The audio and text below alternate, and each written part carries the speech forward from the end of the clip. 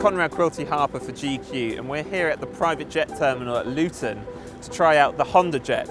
It goes for about 5 million US dollars and we're going to take a quick trip down to Newquay to see what it can do. I really think the most interesting thing about the Honda Jet is how it looks. Apparently it was modelled on a Ferragamo stiletto. The Japanese designer, Mr. Fujino, made some doodles back in the 1980s based on that design.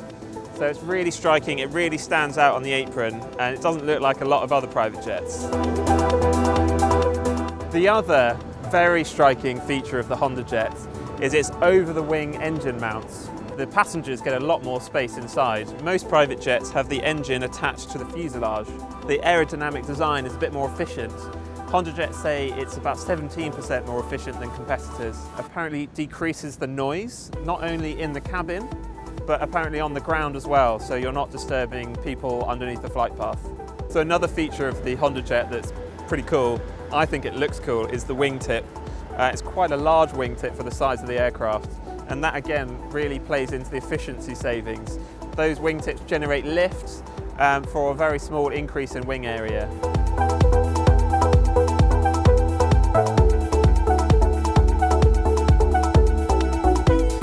Honda Jet has an all-glass touchscreen cockpit, which means your pilots will have much less work to do, they'll be much happier. And also you only need one pilot because it's a small jet, so you actually can have a passenger up here and carry seven people, unlike some of the larger mid-size or large-size uh, private jets, which need co-pilots.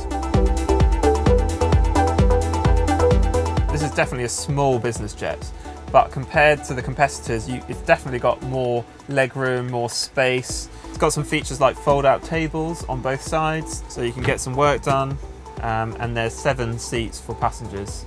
It's also the only private jet in its class to have a fully functioning lavatory. It's quite a small toilet, but neither of the main competitors have anything like this.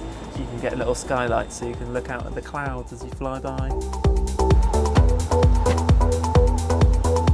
Limited cabin room, it's nice to see that designers have thought about space-saving features like these armrests that fold away.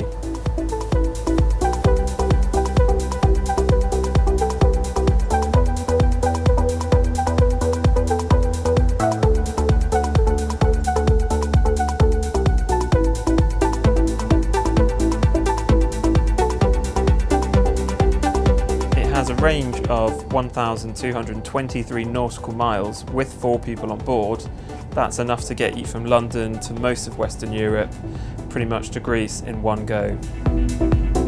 It has a cruising speed of 422 knots, so that means you can get to Portugal in a couple of hours or Paris in about half an hour.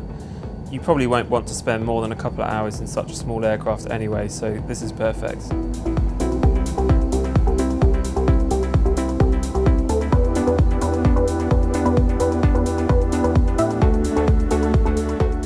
They let me sit up in the cockpit for the flight to Newquay.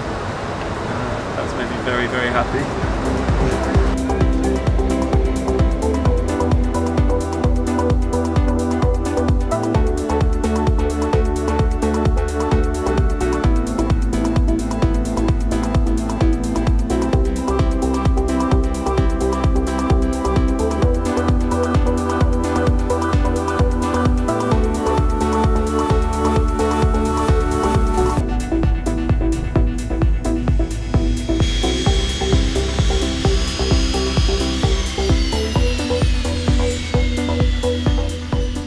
That's it. We're landed at Newquay Airport. Um, we had a really smooth ride over. They let me sit in the co-pilot seat, which was absolutely thrilling. Um, and now we're off to have some lunch at Padstow.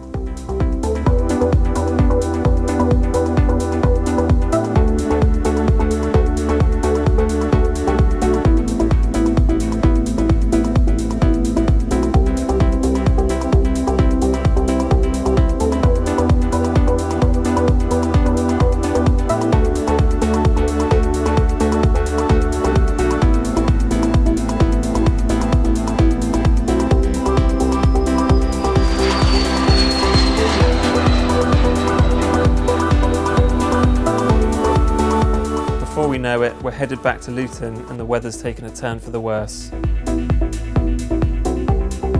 No matter how expensive your jet is, you'll still have to wait if you're landing somewhere that shares the taxiways with commercial jets. So we're back in London after a lovely day in Cornwall. Uh, it's now horrible in Luton. But I hope you enjoyed our video about the new Honda Jet. Uh, please rate and subscribe to our channel on YouTube.